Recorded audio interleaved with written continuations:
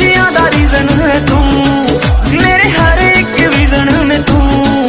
ਹੋ ਤੇਰੇ ਨਾਲ ਜ਼ਿੰਦਗੀ ਗੁਜ਼ਾਰਨੀ। ਮੇਰੇ ਪਿਆਰ ਵਾਲਾ ਸੀਜ਼ਨ ਹੈ ਤੂੰ। ਗੁੱਸੇ ਨੂੰ ਤੂੰ ਥੋੜਾ